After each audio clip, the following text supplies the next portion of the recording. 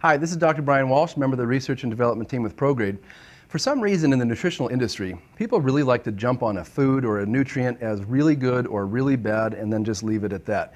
But they really don't pay attention to how many of these things interact with one another. And it's really about the balance. So, for example, we've often heard that we should be following a low sodium diet or restricting our sodium somewhat to prevent getting hypertension or high blood pressure.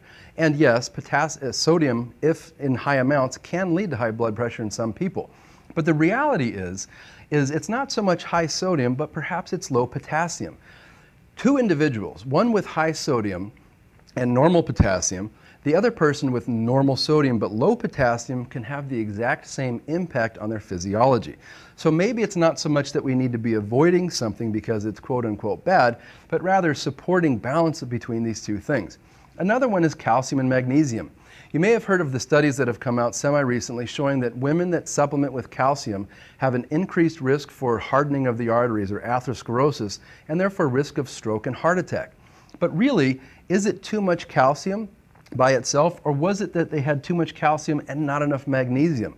Could it be that if they supplemented with calcium and had adequate amounts of magnesium, it wouldn't have had the same effect? Or for calcium to be utilized in the bone, you need to also have things like vitamin D and vitamin K. Studies are pretty clear that many people are deficient in vitamin D and vitamin K today as well. So, did these women have too much calcium, or was it they were lacking some other important nutrients? And lastly, you've probably heard that if you take one particular B vitamin more than the other ones, that you can cause what's called a relative deficiency in the other B vitamins, despite the fact that they're actually normal.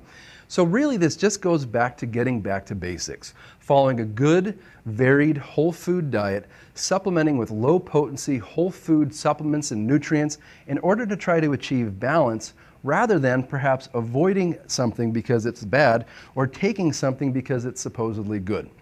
I hope you found this video helpful and I appreciate your time.